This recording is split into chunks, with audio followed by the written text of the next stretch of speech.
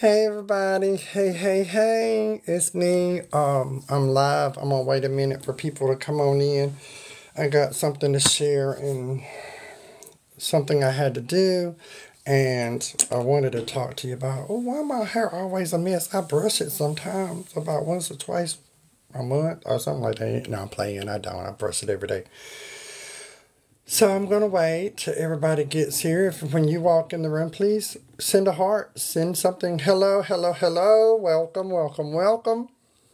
Um, the story time, and I had to get advice about something this morning, and I had to do something, but I wanted to tell my side of the story before it goes everywhere. Okay. Hello, everyone. I love you guys, and good morning. And I know it's early and Jordan's already tired this morning. I've been working in my my farm this morning, and I love you guys so much. And I came on this morning because something's been happening to me this past week, and I just wanted to share it. And and I love you too, baby, and I think you're amazing too. Um. Okay this is what's been going on. And good morning, Pinky. This is what's been going on, and I want to share. I wanted to share it with y'all and let y'all know in case it becomes a big deal, and, and whatever, and in case this person leaks a video or whatever about me. Okay, I'm gonna just tell my side of this whole situation. It it has been a very okay. Let's just say this person is a he.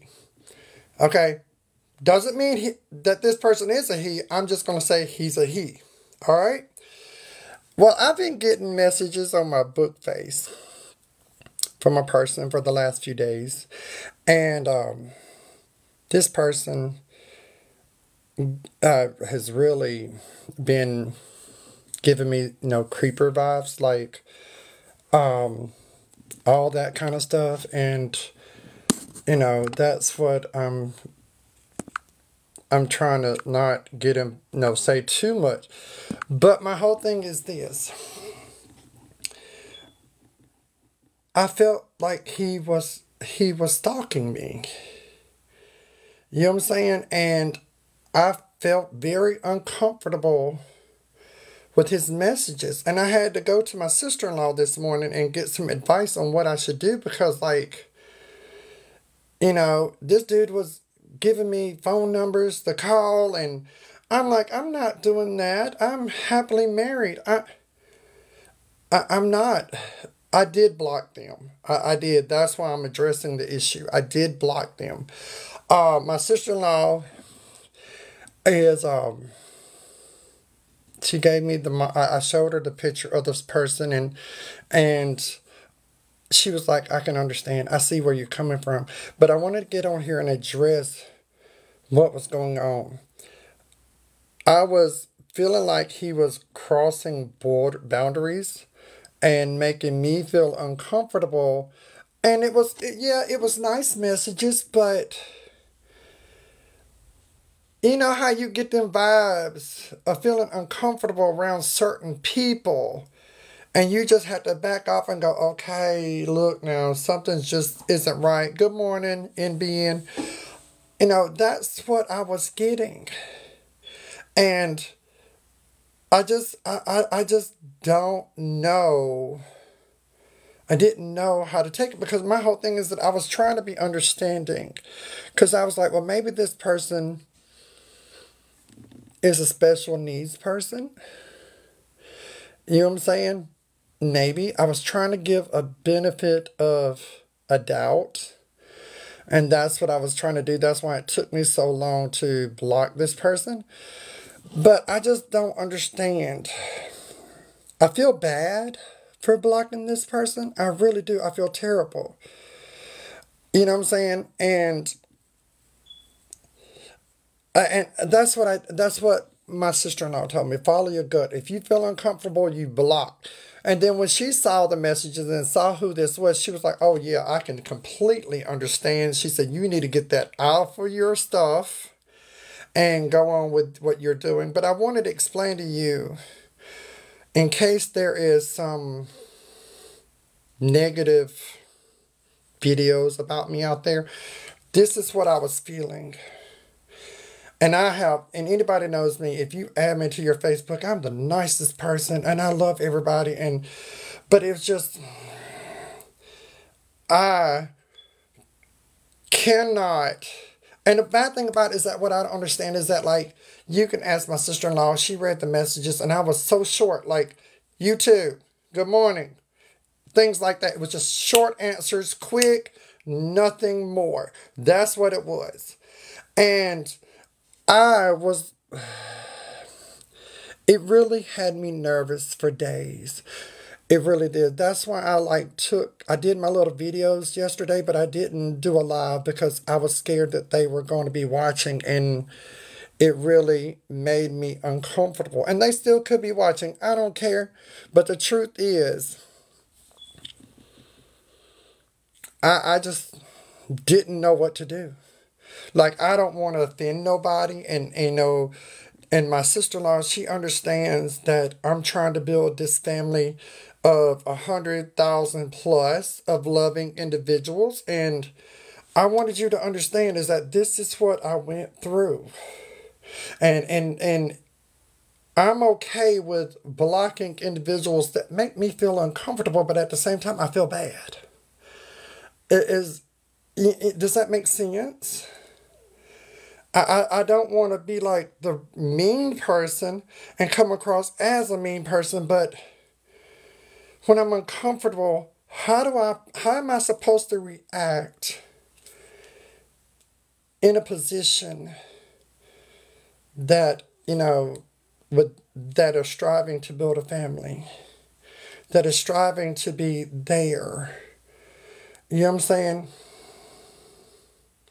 You know, that's my whole thing is I, I had it took me a couple days to just really sort out what was really going on. And my mind was stressed over this and I, I literally you know if anybody don't know i'm gonna go put it on the table. In my 20s i had a stalker in my 20s i had a stalker and the worst feeling you can have is waking up in the morning and your stalker is right there at your house hiding behind a tree that's the truth. I know. I've been there. And ever since then, I have been trying not to put myself back in that situation. If you know what I'm saying, I've been trying to tiptoe and do things where I don't feel like I have to be put back in that situation, but I felt so violated. And that's weird that he did nothing, this person did nothing wrong or said anything wrong. It was just, you know, it was just, uh, no, I don't have no rotten eggs, honey. I wished I did, but, you know, you know, it's just, I wanted y'all to know really what was going on. And, you know, in case there comes a video of me blocking an individual and maybe that person has a bad video saying just about me, but realistically, this is how I felt. You know, I felt unsafe. I felt insecure about what I was, and all this came from the vibes this individual was giving. I felt just odd, like weirder than I normally do. Like I just felt uncomfortable. And I know I'm overthinking it, but I just I don't want anything bad to you know to come around to break up our beautiful family we are building. And and I don't want to I'm worried about this individual, which I never said anything bad to this individual at all. I'm worried about if this person is going to post some type of video and say and call me names and which they can they're going to do that anyway. I don't care. But it's just I don't want our family to be shown in a bad light. You know what I'm saying? Or, or me being shown in a bad light because like people don't realize I'm not a I'm not a very okay i have i do draw boundaries let me say this i do draw boundaries and i try to give people time with me to show who they truly are. Okay, I do give a chance. But if I give you a chance and I still think that you are an, a, a, a creeper or, or, you know, a child abuser or whatever, you're out of here. And that's the conclusion I had to come to. And that I mean, I'm not saying that this person was. I'm just saying that's the vibes that I got. you know what I'm saying? Yeah, I do care. I know I say I don't care, but I do. Christine, I Miss Christine, I, I do. I, I care. I care too much sometimes and I overthink way too often. And, you know, I, I have to protect myself and also protect my family that is on here and I don't want to do anything that's going to tarnish my family. And, and that's what I was trying not to do, but I had to do it, you know, and it just really, I don't know where this person even come from. The bad thing about it, when they sent their phone number, they're like two hours away from me, which is really even more uncomfortable. You know what I'm saying? That's why I didn't give my phone number because the area code, code tells where I'm at, what town I live in, what, what little area I'm from. And that's why I didn't give my phone number. I just said, okay, thank you. Have a great day. You know, just being nice. And I just had to do what I had to do this morning. And I just don't want to tarnish this this this family's reputation of what we're building and the direction we're going. And I just want y'all to know what was really going on and this is what I was feeling. And I do address issues on here. And um so if you're doing your TikTok thing like we're doing, just remember you're going to have these types of people and it's a wake me up for even myself you know, because I came on here thinking, you know, that'll never happen to me. Yes, it will. Yes, it will. That's why I always believe that kids should not be on these types of apps because this will happen. If it happens to my, me, it's going to happen to them.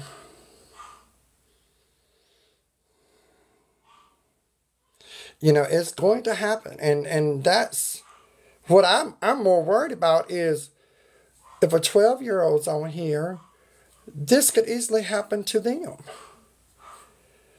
You know what I'm saying? And I just wanted to address the issue to bring attention to this situation. To bring attention to be on the lookout. Anybody that is a TikToker, be on the lookout for these types of people. Because when you start getting that vibe that it's okay, you can block, yeah, it doesn't, you start feeling bad. I get it. I do too. I feel bad for having to do what I had to do, but I had to. You know what I'm saying? I had to. Like the stalkerish kind, Amy, not like, you know, like, y'all know, you get those stalker types. Y'all know what I'm talking about you know, I just I just worry about our little family and you know, and, and my sister in law Jean is like, no, they know who you are. You're okay to be and draw and block who you want to. And I was like, well, I'm still going to address the issue because this is what's going on. And you know, I'm going to warn you and let you know this is what went on with me, and this is going to happen eventually to whoever is trying to do the TikTok thing or do any type of live. It's going to happen. And I just want y'all to realize that. You know, yeah, I feel bad because I, I'm not sure if I really did the wrong thing. Maybe, you know, autistic child children. I, I don't know what he is, and I'm sorry you know, this had to happen, but I felt like they were sucking my energy from me. And it just was not okay with me. But I brought this attention so y'all would know be careful doing what you love to do because there's always going to be that stalker slash whatever thing. I love you, Miss Christine. You have a blessed and wonderful day. I, I, I know I did the I, I think know I did the right thing and you know um I just wished things could have been better, you know what I'm saying? And went a different route, but it had to be done. But that's all what I wanted to get on here and talk about. You're going to have this in anything you do. It is overlooked, and that's what I, I, I want to bring to attention that this is what happens. This is what happens. And what's sad is that TikTok, no offense to TikTok, I love this platform, I love TikTok, but people think we make money off of this. You want to know how much money I really made in the last seven months from TikTok? You want to know? $7.12. That's what I've made in seven months. Think about it. You're not going to get rich off of TikTok, honey. You is not going to get rich off TikTok, Facebook, nothing like that. That wasn't my goal to start with to make money off of this. And that's my goal now. I don't care. If I could just get done what I want to do and wipe the word hate away from America, my job is done. My job is done. I love you guys. And I just wanted to bring that to your attention on what I went through until why and and how it came about of me blocking this individual. It was never they did anything wrong. It was just a personal feeling. I love you, Miss Sue. I love you, Jen. Uh, y'all keep sending the hearts. I love the hearts, and I love all these little avatar things y'all are sending. I don't know what they call them, but the little yeah, I love them. I love you guys, and like I said, people, you don't you don't make no money on. Um, oh, I love that. That's beautiful. Thank you. Um, you don't make no money on here.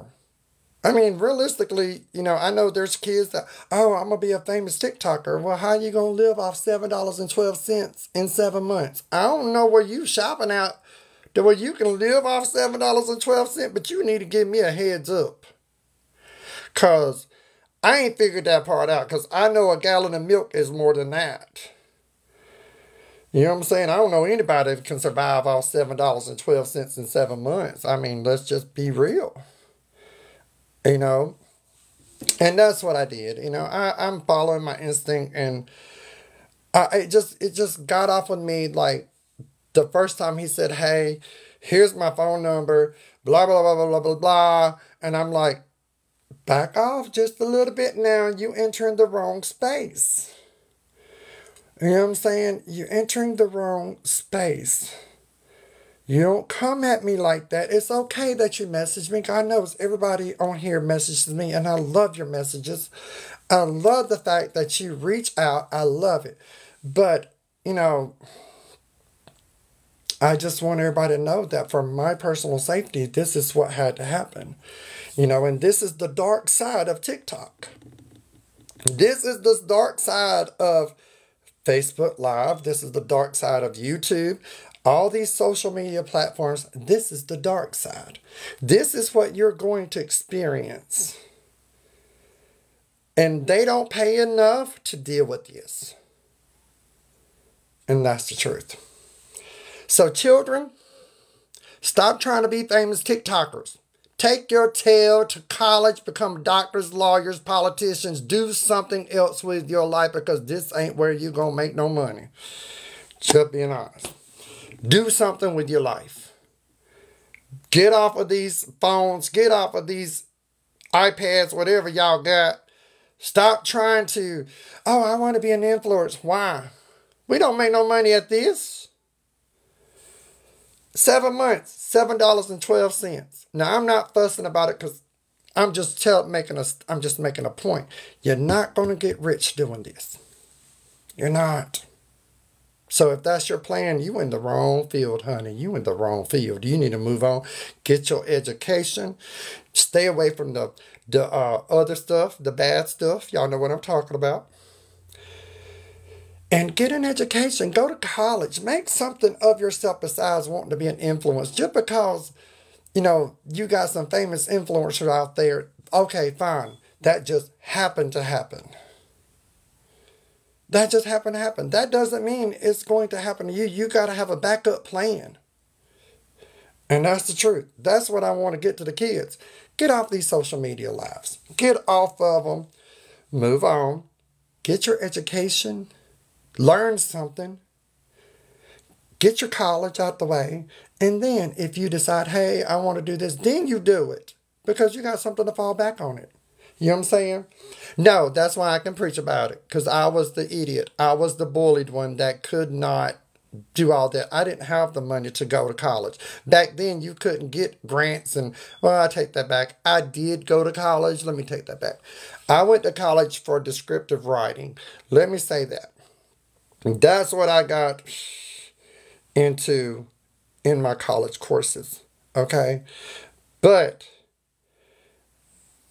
okay, baby, I love you. Tattoo, you be careful and have a great day. Um, but you're not going to make any money off of this. You, there's no money to be made here. These social, the social media, they make all the money. You get pennies. That's what you get. Anyway, I just wanted to share what was going on, and this is what had happened, and this is the dark side of all of this. And I love you guys, and you remember, God loves you just the way you are. And just because you're not feeling good today, and just because your day is dark today, tomorrow there's going to be sunshine. Always remember that. I love you guys. And please continue to share my stuff. Please continue to share those uh, videos. Please consider to put my profiles out there. Put it all out there. I love you guys y'all continue to support me as I try to change the world. That's my goal. Let's change the world. Love you guys. Y'all have a great day.